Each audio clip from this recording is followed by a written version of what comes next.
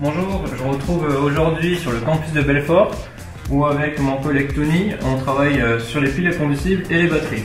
On va vous présenter des systèmes piles à combustible que nous développons au sein de la startup H26.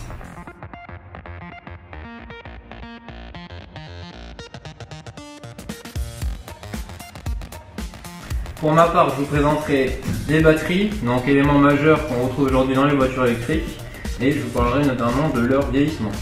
On vous donne rendez-vous Le 11 octobre sur le campus de Belfort.